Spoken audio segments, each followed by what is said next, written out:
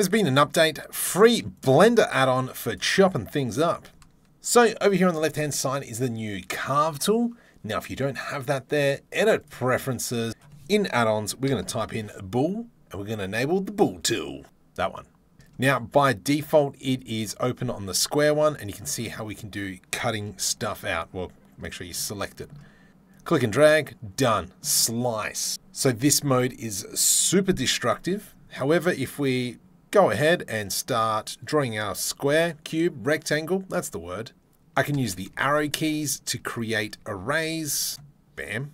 We can as well hold shift. So we go into kind of like square tool. We can have alt and we go like this and we can press spacebar or hold spacebar and we can move it around to different locations. If we want to round off the edges, we just press B. And if we want to increase the bevel, hold B, and then we can see we just move the key slight nice. move it left, move it right, just to give it some more curve. Sweet. Now over here on the left hand side, if we click on that circle tool, and we can draw our circles. Now if that circle is a little bit too jagged for you, control Z that puppy. Up into shape, we can increase the amount of vertices. So for 40s, for instance, click and drag, and we slice a hole like that.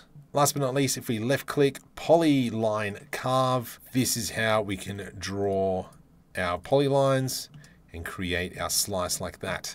However, super destructive, as I mentioned earlier. So let's bring a new cube back into the polycarve. Let's go ahead now.